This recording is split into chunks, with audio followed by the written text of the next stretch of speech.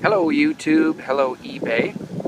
This is my 1969 International Harvester 1300.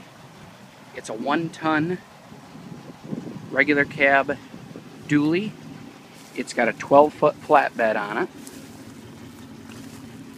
Those sides are removable. There's 31,000 original miles. Now keep in mind there's no way to prove those miles uh, but they are indeed original.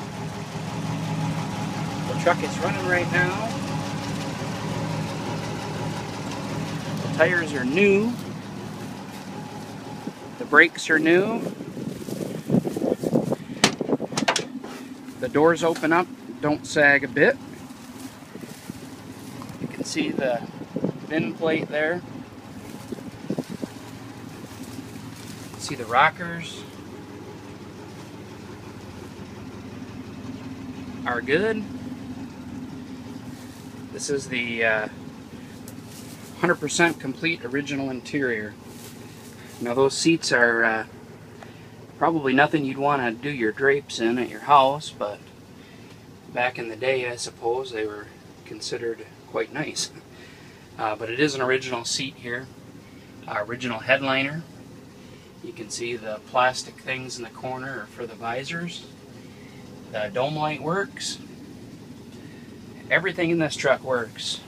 Oh, other than the horn. Um, the horn does not work, although the knob's there. Holds good oil pressure, runs perfect, wipers work, uh, fuel gauge works, the radio turns on. Uh, you can see the light at night, uh, but no sound comes out. Do not know why. The blower works, and it's not squealy and loud like some of them can be. There's not a crack in the dash whatsoever. I do have the hard to find plastic piece that goes around that rear view mirror for the headliner and it also holds these uh, visors in place. See the original headliner is good.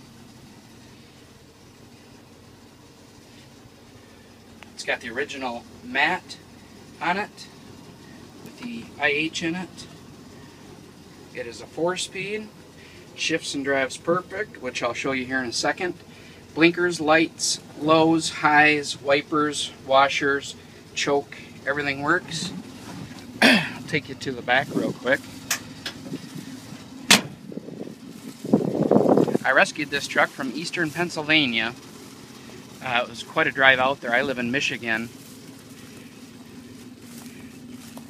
Brought it back here um, you see that bed is all steel and all these lights are completely rewired. Uh, new brakes. I had a brand new trailer hitch installed and wired. I had a new electric brake controller put on it because I wanted to pull my antique tractors or a trailer and put a tractor on it. You can see the hitch assembly, hopefully you can see it. The original IH rear mud flaps. The rear tires are like new, plenty of tread, no weather checking on the sidewalls. Uh, that's been undercoated. See the cab corners, under the doors. Inside this door, again, opens up straight. Windows go down, roll down, roll up perfect. Uh, the rockers are good on this. Now there are rust areas, obviously. Uh, that's not rust through, it looks like paint peeling off. Um, inside of the door, heater box, and again the heat in the fan does work. Um, oh, that's the brake controller I had put in. Uh, works great.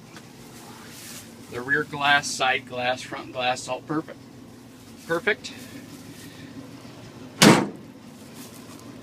Side mirrors are original, International Harvester cab lights. And again, they all work. You can see right now it sits here running.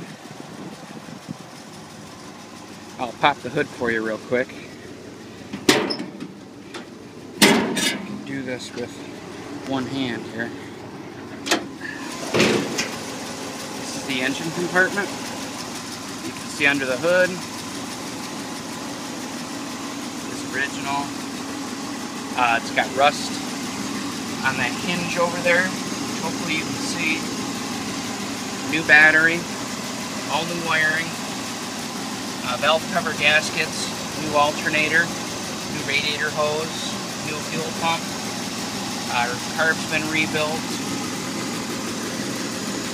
it runs perfect. Uh, brakes are perfect. Hopefully you can see everything in there. Original uh, windshield washer bag. I do not know if it holds liquid. Doesn't appear to be any holes or anything in it. Uh, but it is there and intact. Grill's good, bumper's good. Let me see how many minutes I'm at here. Five minutes. I gotta wrap it up in a minute and a half. Um, I'll put it in gear real quick. I'm just on the farm here, so it does uh, go into gear without any issue at all. Drives without any issue.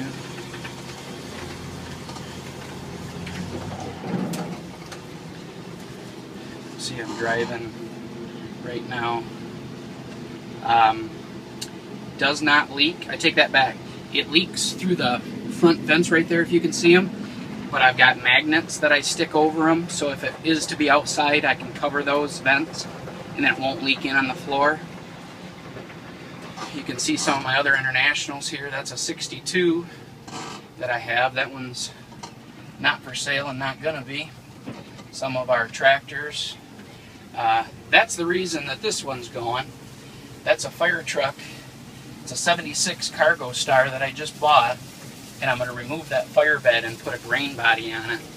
And I think this truck's value is about what I can buy a used grain box for and put on that. Um, but this truck, whoever buys this is going to enjoy it.